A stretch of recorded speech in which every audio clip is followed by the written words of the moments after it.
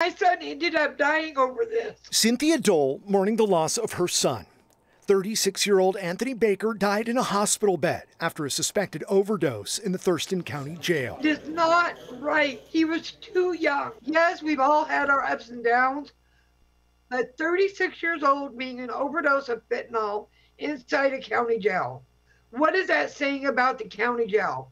They're not looking out for their prisoners. Dole says her son had a long rap sheet, serving time for robbery, theft, and additional violent charges. A man who did not receive a death penalty. But at least I knew where he was and he was safe.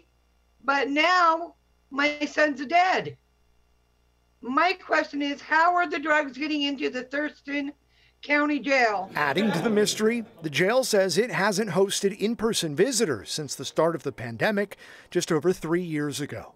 The jail reporting six total overdoses since the beginning of the month, two of them fatal. Baker, just the latest inmate to die. It's hard. It's hard. This is my firstborn grandson. 28 year old Alec Neelan Herrera was one of those men.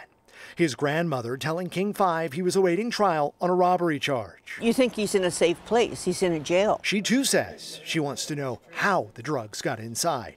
Of the six that overdosed, the jail says four inmates were revised by on site medical staff using the drug Narcan.